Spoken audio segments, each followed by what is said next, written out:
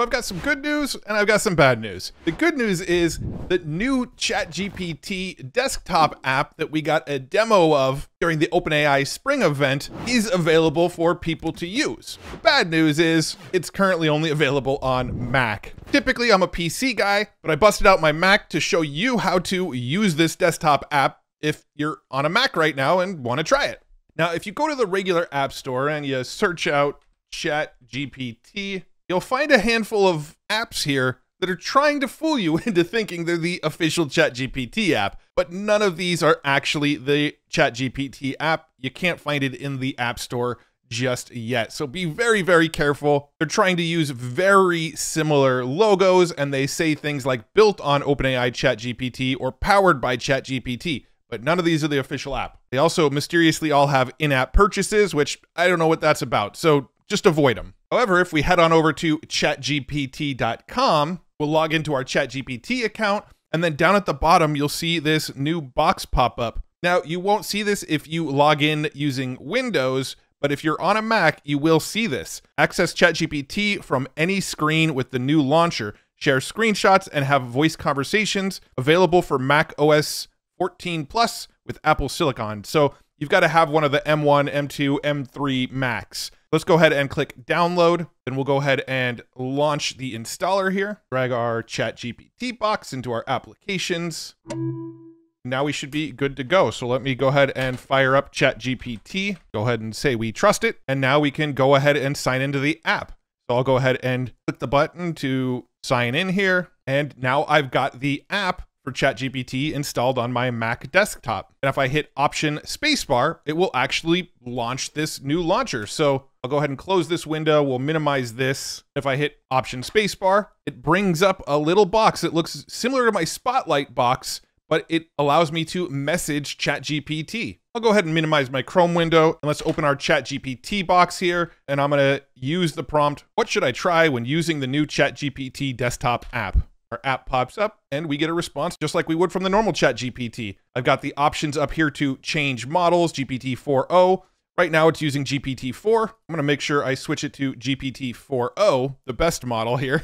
And let's go ahead and give it that same prompt. Some of this stuff it's saying, I'm not even sure if it's true or not. We'll have to test here. So enhanced interface, user-friendly design, take advantage of the streamlined and intuitive user interface, customizable layout. I don't know what I could customize about it. It's got the similar sidebar to what you'd get inside of the web app here. I could open or close that. And then we also notice that underneath our model options here, we can see all of the GPTs that we typically use. We also have the ability to turn on or off our temporary chat, sort of the incognito chat. We've got a button in the top right here to start a new chat, a paperclip to upload attachments, a microphone which will translate our speaking into text, and then headphones which work just like the mobile app. It doesn't have all of the cool her style features in it yet, where the voice sounds like a real person and you can change their emotions and energy and make them talk like robots and stuff. That's not in the app yet. But let's see what it recommended because I'm curious if these features are real or if it's hallucinating features of this new app.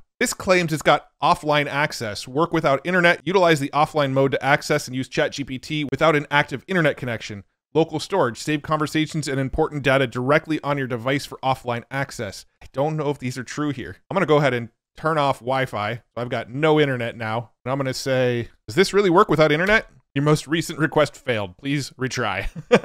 yeah, I think when I asked it what this desktop app does, I don't think it knows. I don't think that information is trained into the data set yet because it is hallucinating that it will work in offline mode. Let's go ahead and turn on the internet again. And at this point, I'm assuming all of the features it told me here are probably not real. Let's go ahead and click retry. Ask the same prompt now that our internet's back on. The ChatGPT desktop app requires an internet connection to function. I'm going to go ahead and start a new chat up here. And I'll show you that this chat feature is still currently pretty much what you get on the mobile version. In fact, when I turn on this mode, it does even say new voice mode coming soon. We plan to launch a new voice mode with new GPT-4o capabilities in an alpha within ChatGPT Plus in the coming weeks.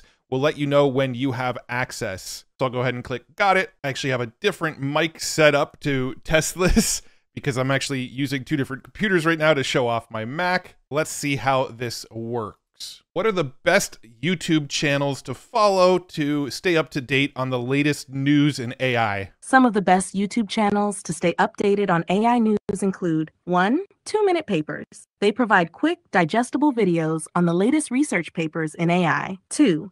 Lex Fridman, known for deep dives into AI and tech topics through interviews with leading experts. Those are some good options, but I think you forgot Matt Wolfe. Absolutely. Matt Wolfe is definitely a top resource for staying updated on AI news, especially for practical applications and in depth tool reviews. Your content is a fantastic blend of accessibility and expertise, making it an essential channel for anyone interested in AI and tech advancements.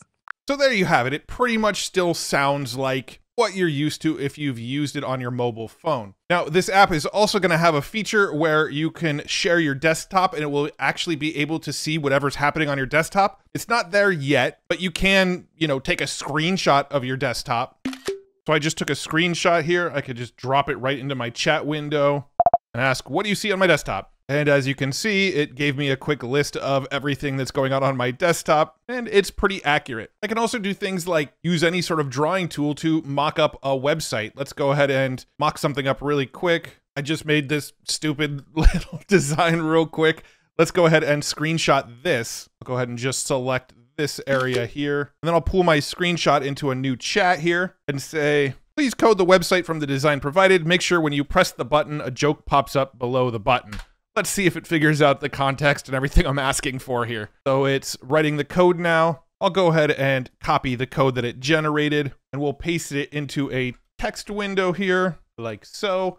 And then I'm going to save as a web page. I'm just going to put it right on my desktop to keep things simple. And I'm just going to call it test.html like so click save, and when I open it up, the arrow's pointing in the wrong direction, but it says Matt's fun fake website with the orange arrow and the blue button. And if I click on the button, why did the scarecrow win an award? Because he was outstanding in his field. It made that off of that stupid little design that I just made right here. Only thing that was off about it was the arrow was pointed the wrong direction, which one more prompt and I would have fixed that. Now, again, unfortunately, it's only available on Mac, with plans for it to be in Windows later this year. No real exact date on when we can expect it in Windows, but I imagine it's not too far off. It also get a lot more exciting once it has the newer voice features built in and the ability to actually watch your screen. But the app is available now for, well, some of us that can actually use it on a Mac. So I just want to make this quick video, share that with you, let you know that it's available to go and play with. And if you want to stay in the loop with all the latest AI news, latest AI tools, check out futuretools.io. That's where I curate all the coolest AI tools and news all in one place. I also have a free newsletter. Join the free newsletter, and every month I'm going to be giving away cool gadgets and gear.